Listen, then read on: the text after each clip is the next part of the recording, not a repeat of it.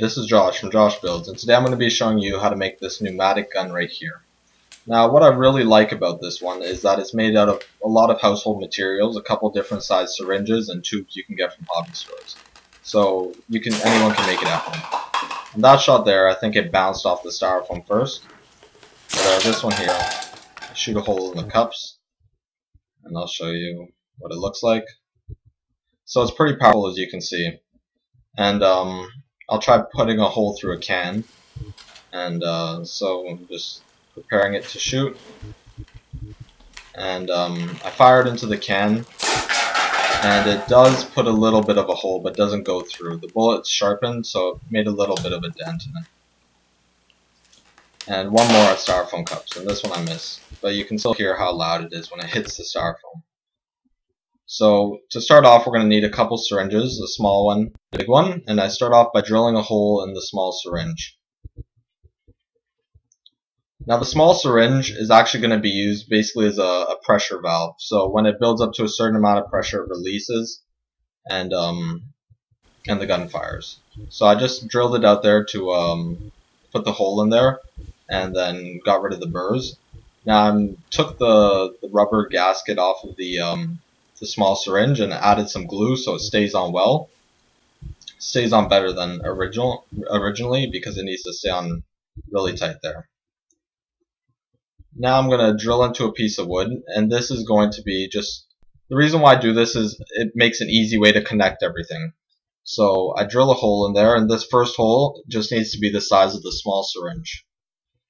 So I go ahead and drill. I actually don't drill all the way through, but you can drill all the way through. I end up drilling all the way through later. Push the small syringe in. And now I want to make another hole that goes in to intercept the hole we drilled in the small syringe. So that, that hole there on an angle is going to connect with the big hole. And we want it to connect where the hole of the small syringe would be. So now I just make the hole a little bigger so I can stick some of that pipe in there that, that tubing I have. And now the tubing slides in. And if you blow into the tubing, it should blow through the hole in the small syringe out the end of the small syringe. And now I just finished drilling all the way through there. And stick the small syringe through. And then after that I stick the I stick a tube onto the end of it so it connects just to the very front of the uh, small syringe and then attaches to the big syringe and then here's the other tube that will um, go to the hole of it. And it doesn't actually connect to the hole but like the passage of air leads to it. So now I'm going to just put some glue around this so everything's airtight. The wood was splitting a bit so I glued around the wood too so no air would escape through the wood because the splits in the wood and I just need to glue everything so everything is perfectly airtight. Now I'm just going to roll up some um, paper and I'm just using this as for structure basically, nothing else. So it's fairly self-explanatory. This one I did as small as I possibly could and it ended up being a pretty good size. The size doesn't really matter, it's just um, for structure. So we tape it off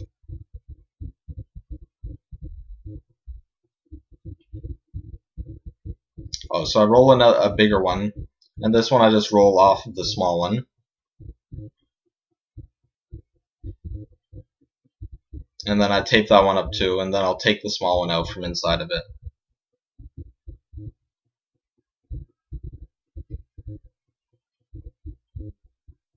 And there we go. Now we have two rolls. One bigger, one slightly smaller. So I cut the big one first, and I'm just going to put it over that just to kind of hide it, I guess, and also give it some structure. And then I'll glue around the base of it so it straightens the tube out on the inside. And again, it's just for structure.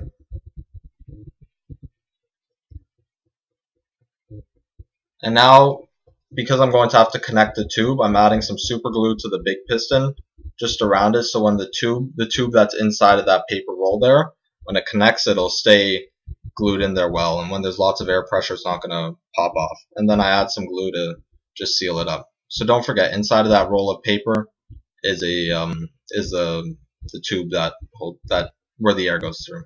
And now I'm just adding another roll of paper on just for more structure.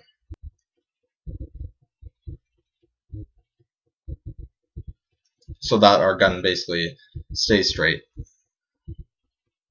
And now I'm going to add one and this is where the barrel is going to rest. So just is to make, I'm just laying out basically a sheet of paper so I can glue the um, barrel on top. And now I can cut this one down. And now for my barrel, I just have a brass tube from a hobby store. And the bullet that I use for it is just going to be a, a smaller piece of um, smaller piece of metal that fits perfectly inside of the brass tube. You could also use, say, like a straw and like a spitball for it too, if you don't want to go out and find something. Basically, you just need a barrel and then a bullet that fits perfectly inside of it to make an airtight seal. So I push the barrel into the, um, the tube there. And now it's actually functional, so I can test fire it, as you can see. And if you just want to see how to fire it, so what I do is I pull the, um, the small syringe backwards. I pull the big syringe out, load it with the bullet. Now the small syringe I'm going to push back in, and then uh, fire it, and it's really hard to shoot. But the way it works is the um, the small syringe, when the pressure builds up enough, the small syringe will fire, will push out backwards, and then the air escapes through the big syringe into the barrel of the gun. And now I'm just going to cut out a piece of styrofoam just to cover everything up with.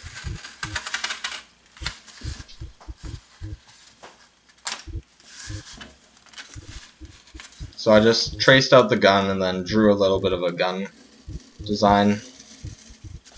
And I'm going to actually have to make two of those, one for each side of the gun.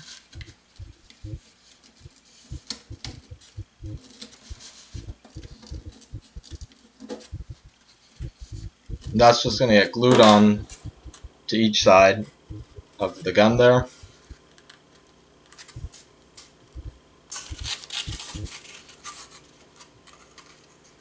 And then I'll add a few more pieces of styrofoam to cover up the bottom and the top.